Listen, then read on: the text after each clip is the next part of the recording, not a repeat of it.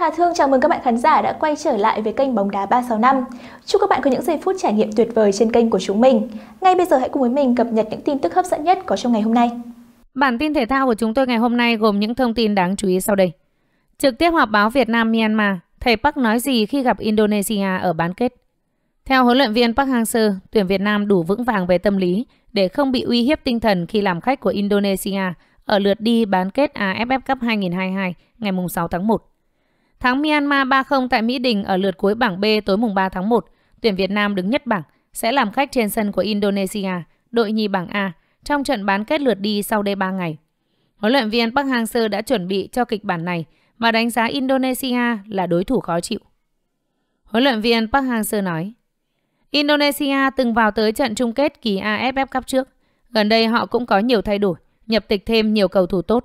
Từ những thông tin chúng tôi thu thập được, các cầu thủ Indonesia giàu kỹ thuật, có thể lực và ý thức chiến thuật rất tốt. Nhưng tôi vẫn hy vọng tuyển Việt Nam sẽ đạt kết quả tốt nhất trước đối thủ khó chịu này. Sân Bungkano ở Jakarta, nơi tuyển Việt Nam sẽ đá bán kết với Indonesia, nổi tiếng là chảo lửa, trực chờ nung chảy các đối thủ bằng sự quá khích của người hâm mộ chủ nhà. Thái Lan là đội gần nhất nếm trải sức nóng này. Xe buýt chở họ vào sân, bị nhiều cổ động viên quá khích Indonesia bao vây, uy hiếp và ném đá đến vỡ kính. Vào trận Thái Lan cũng bị dẫn bàn và phải chật vật mới ra về với kết quả hòa một đều. Huấn luyện viên Park lên án hành vi này, cho rằng việc các cổ động viên Indonesia uy hiếp, đe dọa đối phương như vậy là không thể tồn tại trong bóng đá. Nhưng ông cũng tin rằng sau vụ tấn công xe buýt của tuyển Thái Lan, Indonesia và AFF sẽ không để sự việc tương tự xảy ra. Nhà cầm quân Hàn Quốc cũng không ngán từ sức nóng của các cổ động viên Indonesia trên khán đài. Huấn luyện viên Park cho biết thêm. Đá trên sân khách thì đương nhiên phải có áp lực, nhưng tôi luôn tin rằng các cầu thủ của tôi đủ năng lực cũng như kinh nghiệm để đương đầu và vượt qua. Dù vậy với tư cách huấn luyện viên, tôi cũng sẽ phải nói với các cầu thủ, dặn họ rằng không nên hưng phấn quá mà phải đá thật bình tĩnh. Trở lại với trận đấu Myanmar ngày hôm nay, huấn luyện viên Park tỏ ý chưa hài lòng về mặt tỷ số khi Việt Nam chỉ thắng 3-0 nhờ một pha phản lưới của đối thủ, một bàn của Tiến Linh và một bàn của cầu thủ vào sân thay người là Châu Ngọc Quang. Huấn luyện viên Hàn Quốc nói, đội tuyển chỉ đạt được mục tiêu về tỷ số ở 3 trận đầu, trong đó có trận hòa không đều trên sân cỏ nhân tạo ở Singapore, trận mà tôi thay nhiều vị trí vì lo ngại rủi ro chấn thương. Còn riêng trận thắng hôm nay thì không đạt, nhưng sau cùng tuyển Việt Nam cán đích đầu bảng sau 4 trận. Tôi cảm ơn các cầu thủ đã nỗ lực hết sức. Tiến Linh, sân Mỹ Đình khiến Việt Nam chơi không tốt. Tiền đạo chủ lực của tuyển Việt Nam tại AFF Cup 2022 gặp vấn đề ở chân phải và bị thay ra từ sớm trong chiến thắng 3-0 trước Myanmar tối mùng 3 tháng 1. Nguyễn Tiến Linh tiết lộ về tình trạng của bản thân sau trận đấu. Tôi không đá được hết trận mà được rút ra, nhưng chấn thương của tôi không quá nghiêm trọng. Tôi sẽ nghỉ ngơi thêm và sẽ lấy lại thể lực chuẩn bị cho trận bán kết. Tiền đạo của câu lạc bộ Bình Dương là người ghi bàn nâng tỷ số lên 2-0 ở phút 27. Nhưng đến ngay đầu hiệp 2, anh phải rời sân nhường chỗ cho Phan Văn Đức. Trên băng ghế dự bị, Tiến Linh phải chườm đá ở bắp chân phải. Anh cũng thừa nhận chất lượng mặt cỏ ở sân Mỹ Đình là nguyên nhân khiến tuyển Việt Nam chơi không tốt trước Myanmar ở đầu trận. Chân Sút sinh năm 1997 cho biết, chất lượng sân Mỹ Đình không được tốt cho lắm nên tuyển Việt Nam khởi đầu trận đấu hơi chật vật. Nhưng sau đó toàn đội lấy lại tâm lý và thi đấu tốt, ăn ý và hiệu quả hơn. Sau những khó khăn ban đầu, đội tuyển đã có chiến thắng tưng bừng. Với bàn thắng vào lưới Myanmar, Tiến Linh đã có bàn thắng thứ ba ở giải đấu năm nay. Sau hai pha lập công trước đó trong các trận gặp Lào và Malaysia, anh có thành tích ghi bàn ngang bằng với Kenshiro Daniel của Philippines, Stuart Wikin, Faisal Abdul Halim của Malaysia và Aung Aung Win của Myanmar. Các ngôi sao kể trên kém người dẫn đầu danh sách vua phá lưới giải đấu, Terasin Dangda, 5 bàn. Chân sút của tuyển Việt Nam sẽ còn cơ hội cạnh tranh cho cuộc đua ghi bàn nhiều nhất giải đấu khi chạm trán Indonesia ở bán kết. Tiến Linh thừa nhận đội bóng xứ Vạn Đảo rất mạnh, nhưng anh và các đồng đội tự tin có thể vượt qua đối thủ. Trần sút 25 tuổi khẳng định, Indonesia là đội bóng mạnh ở khu vực, nhưng tuyển Việt Nam sẽ có phương án khắc chế được sức mạnh của đối thủ. Việt Nam nối dài kỷ lục ở vòng bảng AFF Cup 2022. Lần thứ tư đội tuyển Việt Nam kết thúc vòng bảng mà không thủng lưới bàn nào ở AFF Cup. Trước kỳ giải 2022, Việt Nam đã lập kỷ lục giữ sạch lưới ở vòng bảng 3 lần vào các năm 2000, 2018 và 2020. Trong lịch sử 14 kỳ AFF Cup, chỉ Indonesia vào năm 2004 và Thái Lan vào năm 2008 làm được điều tương tự. Tại giải năm nay, Việt Nam khởi đầu bằng chiến thắng 6-0 trước Lào, rồi lần lượt hạ Malaysia 3-0, hòa Singapore không đều, thắng Myanmar 3-0.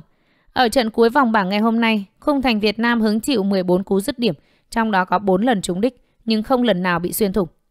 Việt Nam cũng là đội tuyển duy nhất chưa lọt lưới tại AFF Cup 2022, đồng thời thu hẹp khoảng cách số bàn thua với đội phòng thủ tốt nhất lịch sử dự vòng bảng AFF Cup với 35 bàn, chỉ đứng sau Thái Lan 34 bàn. Dưới thời huấn luyện viên Park Hang-seo, Việt Nam luôn đề cao sự chắc chắn với hệ thống phòng ngự năm hậu vệ. Trong thành phần dự giải năm nay, đội tuyển có 4 hậu vệ tham dự kỳ AFF Cup thứ 3 liên tiếp, gồm có Đỗ Duy Mạnh, Quế Ngọc Hải, Bùi Tiến Dũng, Nguyễn Phong Hồng Duy. Chiến tích giữ sạch lưới của Việt Nam có công lớn của thủ môn Đặng Văn Lâm, người một lần nữa cho thấy sự ổn định trong lần thứ hai dự giải. Thủ môn Việt Kiều không dự AFF Cup 2020 vì chấn thương và Covid-19, nhưng trong khi đó Trần Nguyên Mạnh chơi không tệ. Tại AFF Cup 2018, Văn Lâm từng lập kỷ lục 405 phút giữ sạch lưới, trước khi bị Patrick Richen của Philippines ghi bàn ở bán kết. Anh sẽ có cơ hội cải thiện thành tích đó khi Việt Nam làm khách trên sân của Indonesia ở bán kết lượt đi vào ngày 6 tháng 1. Indonesia công bố giá vé trận bán kết với tuyển Việt Nam. Để có một tấm vé VIP vào xem trận bán kết 1 AFF Cup 2022, người hâm mộ sẽ phải bỏ ra số tiền lên tới 1 triệu IDR, tương đương với hơn 1,5 triệu đồng. Theo Bola, Liên đoàn bóng đá Indonesia PSSI đã sớm công bố giá vé xem trận bán kết lượt đi giữa Indonesia và Việt Nam. Vé bán sớm có 4 mệnh giá, gồm 750.000 IDR vé VIP, 500.000 IDR vé khán đài Tây, 200.000 IDR vé hạng 1 và 125.000 IDR vé hạng 2. Đợt mở bán sớm sẽ chỉ diễn ra trong ngày mùng 3 tháng 1 năm 2022. Vào ngày mùng 4 và mùng 5 tháng 1, vé sẽ được bán với đúng giá gốc với 4 mệnh giá là 1 triệu IDR vé VIP, 750.000 IDR vé khán đài Tây, 250.000 IDR vé hạng 1 và 150.000 IDR vé hạng 2. Theo Tổng thư ký PSSI, ông Junut Nusi, ông mong đợi các cổ động viên sẽ phủ kín sân vận động Gelora Bung Karno để cổ vũ cho đội tuyển Indonesia trong trận bán kết sắp tới. Giá vé trong đợt mở bán sớm sẽ có mức hấp dẫn so với bình thường. PSSI sẽ chỉ mở bán vé sớm trong một ngày, mùng 3 tháng 1. Vì vậy, PSSI mong các cổ động viên sẽ tận dụng cơ hội này để có thể đến và ủng hộ đội tuyển quốc gia trong trận bán kết sắp tới. Sau lượt trận cuối cùng của bảng B, đối thủ của đội tuyển Indonesia tại bán kết AFF Cup 2022 đã chính thức lộ diện. Đội tuyển Việt Nam sẽ đá trận lượt đi trên sân Gelora Bung Karno vào ngày 6 tháng 1, trước khi trở về Mỹ Đình để chơi trận lượt về sau đó 3 ngày. Dưới thời huấn luyện viên Shin Tae-yong, đội tuyển Indonesia chưa từng giành chiến thắng trước đoàn quân của huấn luyện viên Park Hang-seo. Dù vậy, chúng ta từng để thua đội bóng xứ Vạn Đảo tại bán kết AFF Cup 2016 với tổng tỷ số là 3-4. Ở trận lượt đi tại sân vận động Gelora Bung Karno, đội bóng của huấn luyện viên Nguyễn Hữu Thắng đã để thua với tỷ số 1-2 ở trận lượt đi, trước khi hòa hai đều ở trận lượt về sau hiệp phụ. Tuyển Việt Nam có hàng thủ tốt nhất AFF Cup 2022. Tính đến thời điểm này, tuyển Việt Nam là đội duy nhất giữ sạch lưới ở vòng bảng AFF Cup 2022. Sau 3 trận vòng bảng, tuyển Việt Nam có 3 trận giữ sạch lưới. Đoàn quân của huấn luyện viên Park Hang-seo là đội duy nhất làm được điều này. Tuyển Malaysia, Singapore, Thái Lan đều có cùng hai trận giữ sạch lưới. Trong khi đó Indonesia chỉ mới một lần làm được điều này.